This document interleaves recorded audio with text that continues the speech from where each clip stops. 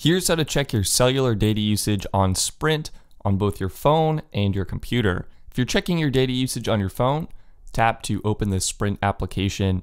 If you are using the Sprint app on your Sprint device, then Sprint should actually recognize the device on the network and automatically log you in. Let's see if it works. Allow while using the application, and we should automatically be logged into our account here because this is active on my Sprint device.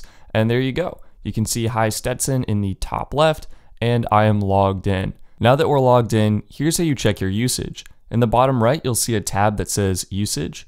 Tap on that, and you'll instantly be brought to a page where you can see the cellular data usage as well as the minutes and text usage for your account.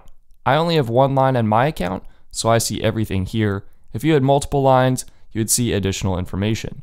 And that's it. It's just that simple to check your cellular data usage on the Sprint application. You can also see your hotspot usage and when your billing cycle renews. One thing I also want to mention is while you can check your data usage in the Sprint application itself, on your Android device, you can also see how much data usage your device is reporting, as well as set data warnings and data limits. To do this, you're going to jump into the settings application.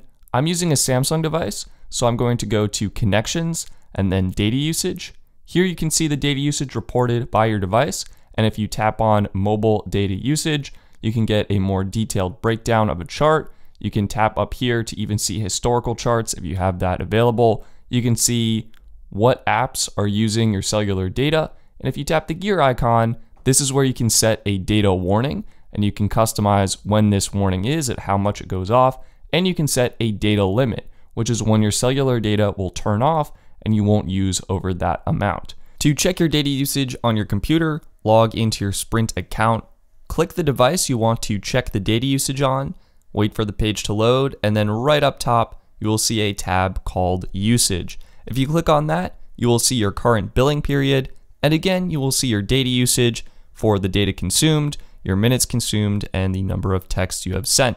You can also click View Full Data Usage Details to see an even greater breakdown of your data usage. And uh, you really get a lot of information here if you're looking for these kinds of specifics.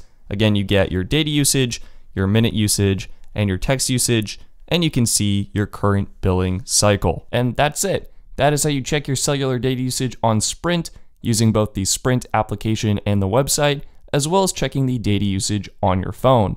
Please like this video if you found it helpful, and subscribe for more videos like this one.